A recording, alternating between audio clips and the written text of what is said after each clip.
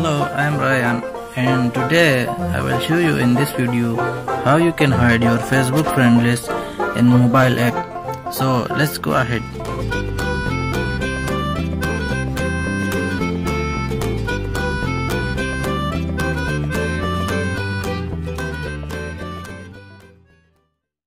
Unfortunately, the Facebook mobile app doesn't offer to control friends list, although you can make your friends list invisible to others on Facebook using an internet browser for your smartphone. To hide your friends list, you need to open a browser, Google Chrome or any other browser.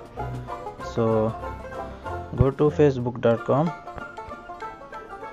facebook and uh, here it is and just logging to your account first and then go to your profile here and scroll down and go to friends list here.